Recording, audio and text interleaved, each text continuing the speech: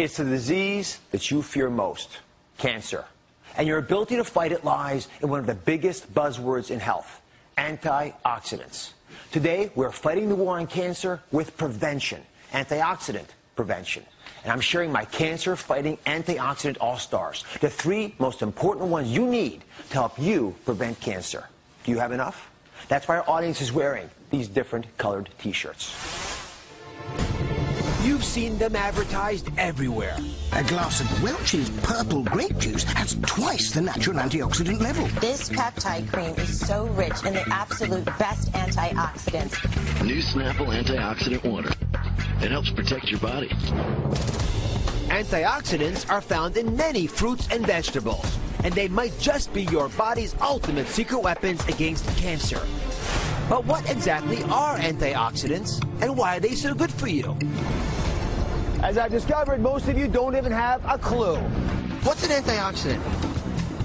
I don't know. You know any antioxidants? No, I know it's in green tea. You know what an antioxidant is? An antioxidant? Yes. No. You know what has antioxidants in it? I don't want to say the wrong stuff. I'm with your daughter here. I got a question for both of you. Can you name an antioxidant? Oh. No. Joining me is one of my all-time favorite guests, cancer prevention pioneer, Dr. William Li. Dr. Li, thank you very much for joining us as always.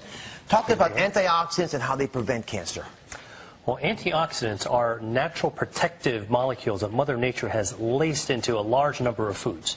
And there are literally thousands of different types of antioxidants, but they all do pretty much the same thing. They protect our DNA in healthy cells from the type of damage caused by free radicals, which are harmful chemicals that our body absorbs from things like cigarette smoke or pollution or fried foods or other sources of the environment. So antioxidants protect our DNA against the kind of damage that can cause cancer. So you see why it's so important to both of us, and all doctors are concerned about preventing cancer, that you have enough. So everyone in our audience today is wearing their antioxidant health on their sleeve. All wearing different colored t-shirts.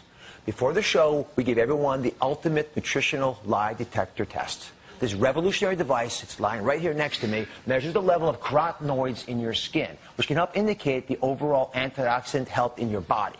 It's a completely non-invasive test. Did it hurt you? You get it? All right. Good. I haven't had mine yet. I'm having it next. So we're going to see if it hurts me. But it takes about 90 seconds, and I am completely astounded by these results. Let me come on over here. We're going to show it to everybody. So if you look at the, this is this is how it's supposed to be read out. By the way, we've got lowest to highest, 10,000 up to 50,000 units, right? Or, or, or, these figures give us a rough idea. You want to be up here in the blues. Now, let's see how you did. Are you ready? I don't see any reds, any oranges. Let's see the numbers for the audience. You're all down here. Can I tell you something? You're America. You're a cross section of everyone watching the show right now. Let me just go through these because it completely blew my mind. We have almost 40% of the audience in the lowest category possible. I actually didn't think we'd find anybody there.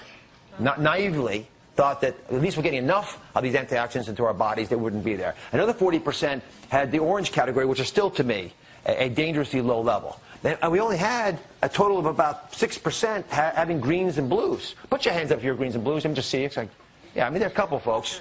But, you know, it's not many. Congratulations, by the way. So the question then becomes, you know, why is it they're having these problems? And it's not surprising because we're getting on average about two to three servings of fruit per day and vegetables. It's not enough. And we know that. We, what we talk about? Five, seven, nine, big numbers of servings, fistful size. So I haven't had the test yet. So before I give you a hard time, let's see how I'm doing. Uh, ready to go? Yes, ready. All right. And Dr. Li, while I do this, uh, talk to me about antioxidants. What foods have them? How can folks find them, even if they don't know the chemical names? Well, you can certainly get antioxidants in pill form, but the very best way of actually getting antioxidants is in the foods that we eat. And what about organic versus inorganic? I get asked that a lot from the audience. Does it make a big difference with regard to antioxidant power? Yeah, well, some studies have actually shown that foods grown organically can have greater levels of antioxidants. And the reason is because antioxidants also protect plants. And when plants are grown organically, that's without pesticides or chemicals or antibiotics, they actually have to produce more antioxidants to protect themselves. Right. And when we eat them, we get the benefits too. Oh. That makes sense, everybody? All right, let's see how I'm doing here. Uh-oh. 75,000. Now, listen. No, no, no.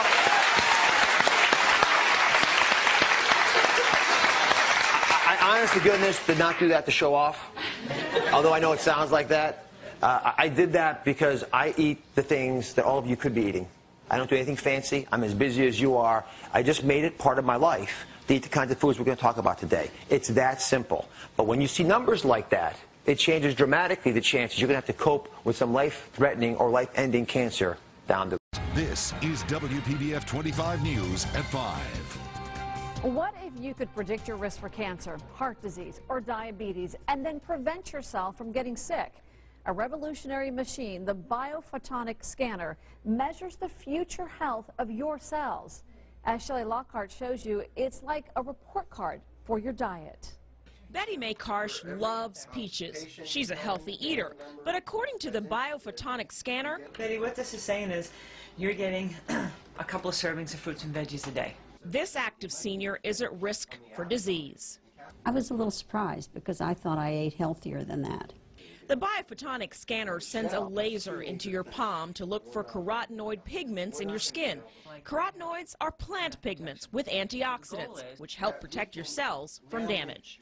That measurement is going to give you risk factors for macular degeneration, cancer, diabetes, and heart disease. It can put you on notice that changes need to be made in not only maybe your supplements, but how you eat, how you exercise, and above all, change your lifestyle if you're smoking. Ah, that hurts! I'm kidding. It's absolutely painless. In the world, he takes LifePak Nano. My score, 34,000. Average. If your skin carotenoid score is less than 40,000, you are not adequately protected against the free radicals that are constantly attacking your body. Ideally, you want to score over 50,000. Dr. Oz recently explained how antioxidants protect your cells from damage. But you got to have the antioxidant back up to come in there and defend you. So go ahead, knock down, try take it away. Yeah, go on, one more time. Try to get at it. She's hard. Michelle Bacon tested average two years ago. Like that, my mindset was, I'm, I'm young, I'm in good shape, uh, I'm, I'm healthy. I don't need to worry about nutrition and this and that. And, and the score kind of set me back a little bit. Michelle changed her diet and started taking vitamins that contain antioxidants. 59. High five. We're in the blue zone. All right. A report card, she says, gives her peace of mind. Shelley Lockhart, WPBF 25 News. Now, Dr. Oz recommends ramping up your intake of fruits and vegetables from 5 to 10 a day to change your level of antioxidants. Dr. Feld says supplements that contain antioxidants can also change your score.